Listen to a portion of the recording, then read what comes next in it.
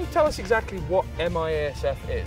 Sure. Marine Industries Association of South Florida is an, uh, an organization that was founded in 1961 by a, a group of business owners that realized that uh, the industry, as it was starting to grow, needed a bigger voice, needed some collaborative uh, efforts, and uh, to tackle what could be anything that we deal with today legislative, environmental, whatever it may be.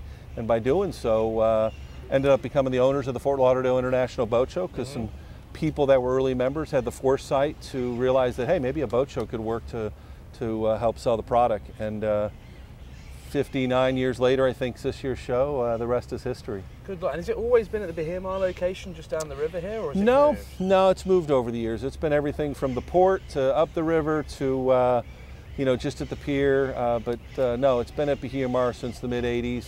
And um, it's doing quite well. Doing very, very well. And MIASF has been growing every year. I mean, now you're quite a